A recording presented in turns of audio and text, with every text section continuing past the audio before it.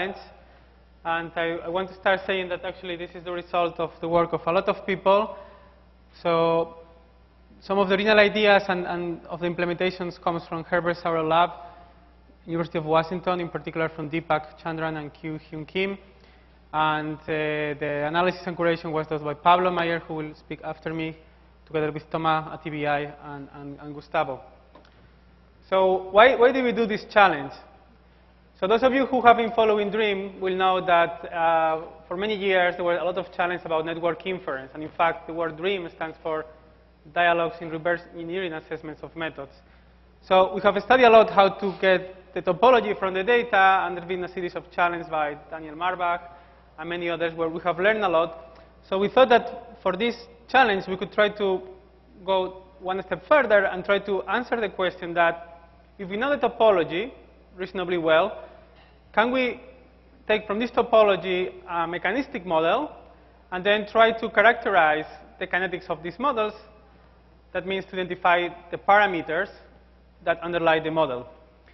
And also, given that even though we may have a good topology, it's unrealistically to expect that we will be able to know it perfectly well, we would like to also address the question of how can we refine a given topology uh, that is to find perhaps some missing links or, or to rewire it slightly.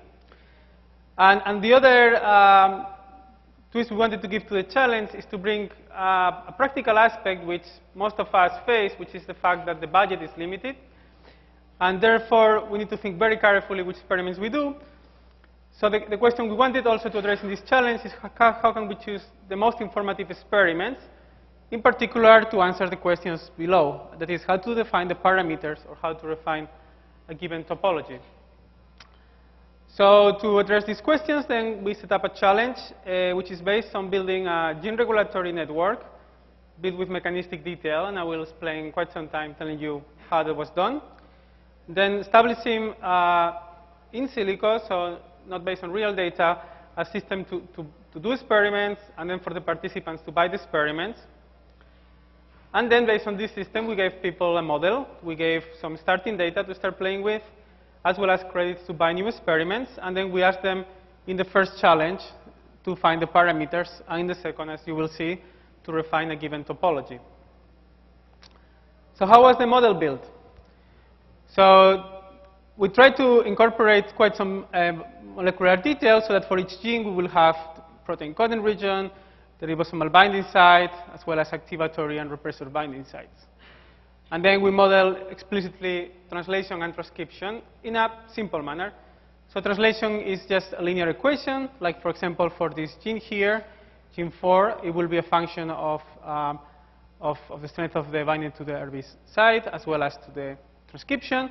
And transcription itself will be a linear function of the effect of all the activators and all the repressors. So again, for model uh, gene 4, uh, it will be uh, the product of the effect of um, the AS4, which is the, the, activatory side, and RS2, which is the inhibitory side, multiplied by a, a, a, constant. And then, in turn, these two terms are modeled with uh, nonlinear Hill equations that contain the parameters that you have to, to, to estimate, namely the binding constant, and the Hill coefficient, which determines how sigmoid is the effect. So this is how each of these genes was modeled.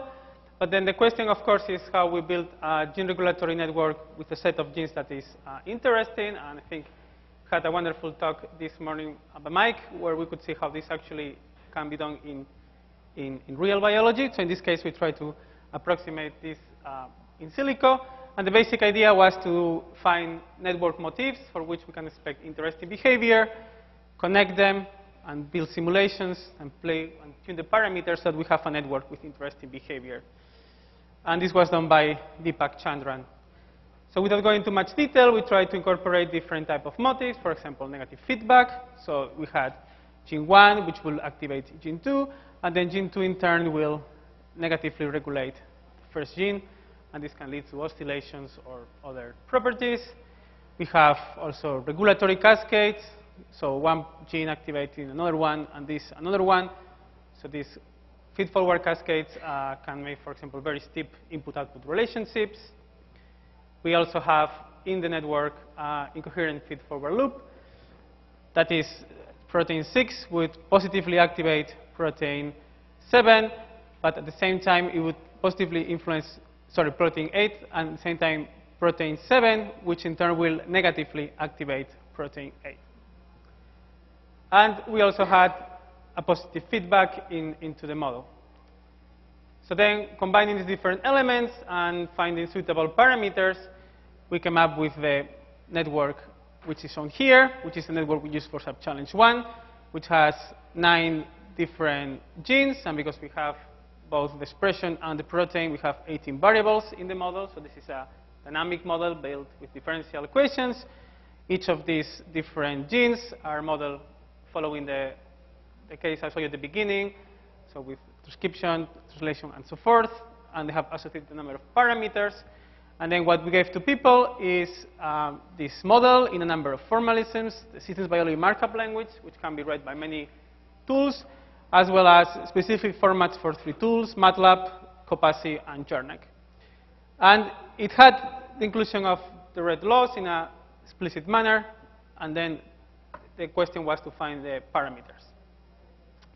So now let me tell you a bit about how we build the system to, to, to buy experiments, to mimic um, the situation in a real lab. So we had this grant where you have 10,000 credits, and with this money you could buy a number of experiments. The experiments uh, could have different quality and accordingly different cost, and we try to approximate what could be real differences of cost and, and quality in, in, in real biology. So you could perturb your network in a number of ways. You could do, for example, a gene knockout and eliminate all the transcripts and the proteins. This will cost you 800 credits. You could do an RNAi, and this will increase tenfold the degradation of mRNA. This was much cheaper. Or decrease the RBS activity, which is uh, similar price than the RNAi screening. And then you could ask for different readouts, which again have different qualities and different prices. You could ask for microarrays, time series of microarrays, and this could be at low or high resolution, so a different amount of, of measurements at the price of 5 1000. You could ask for the proteins, which we do with mass spec. Or you could specifically try to follow at high resolution uh, to, to, proteins uh, using fluorescence protein fusion. And there was also the option to buy directly the, the parameters. Of course, you couldn't buy all of them, but if you wanted, you could spend most of your budget just to going for a specific kinase, uh, sorry, uh, binding constant or Hill coefficient. So this was how people could uh, participate. And then, um, as Gustavo said, in fact, this is a bit of a remake of a challenge from last year. And, and, and the reason that we had to do this is because last year we ran very much the same challenge, uh, but we found out through the process that there was um, problems with the integrators in different platforms and different tools. And without going into details which tools work better than others, what we decided this year is to be much more thorough in how we provide people the models and, and, and the data in a way that it can run. So we built our models with TinkerCell, a tool developed at Herbert Sauro, from which all the screenshots come. And then we try to be quite thorough in testing the models, the SBML models, in a list of platforms shown here, with the hope that this year these integration models will not come again. Even though actually it has to be said that it was quite a good um, information for the community working on modeling these differences in, in, the integrators, but that's perhaps out of the scope of um, this discussion now. But anyway, because we had done the challenge last year, uh, but we wanted to do it again, but at the same time we wanted to give something new that, you know, if, if you had played last year, you will have uh, something else to think about. We made a second challenge, which is sub-challenge 2. And that's where we try to address this other question, which is, well, in truth, you will not have a perfect topology. So we're going to give you a good topology, but slightly imperfect. And we're going to ask you to, to tell us what is wrong in this topology. And in particular, there were three missing links in this network that you try to, to find. And because we thought this will be a bit of a harder problem, we simplify a bit the, the model description. In particular, the description is, is neglected. And we had a number of, of assumptions and, and, explanations about the, the topology. Uh, so this was the, the network for sub-challenge 2. It has 11 genes, but only 11 variables because we don't have uh, expression explicitly modeled. And so just to give you a sense of, of what the data looks like, this is the, the, the, wild data, so the starting data that people got for sub-challenge 2. So for the 11 different proteins, so over time you can see how, well, there was quite an interesting dynamic. Many things will oscillate, time oscillations and so forth. And then this is what we gave people with the topology and the money to buy new experiments. And I think at this point, uh, I'm going to pass to Pablo, and I think it's um, uh, just, well, thank again the, the, people that I said before, Pablo, Gustavo, and people in Herbert's team, and of course, all, all, the participants, not just of this year, but also of, of last year, from which we, we learned a lot.